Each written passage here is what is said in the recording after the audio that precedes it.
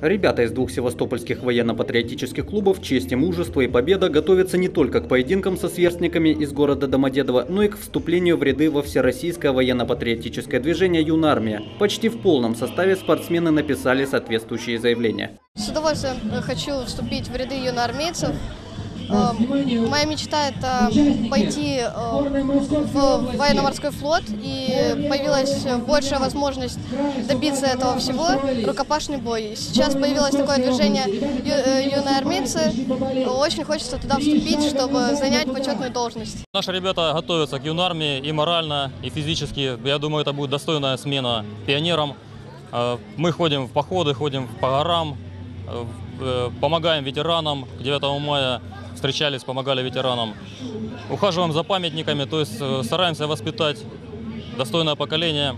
Из Московской области в Республику Крым приехало около 120 бойцов. Под Севастополем они проходят тренировочные сборы. Руководство делегации решило проверить силы юных рукопашников в противостоянии с местными спортсменами. К тому же такие поединки ранее никогда не проводились. Удалось гостям и познакомиться с некоторыми достопримечательностями Севастополя. Удалось посмотреть Севастополь, погулять по городу, посмотреть оборону Севастополя, побывать на Сапун-горе, на великих местах воинской славы, воинских сражений. Поэтому пока настроение хорошее, все нравится, все гостеприимно, хорошо.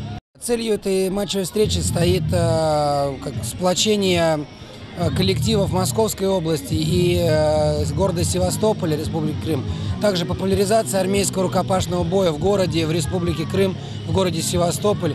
Для участия в матчевой встрече каждая из сборных выставила по 33 юных спортсмена в возрасте от 7 до 13 лет. Формат поединков – 2 минуты. Матчевая встреча, она не предполагает э, определения чемпиона или единого победителя в своей весовой категории.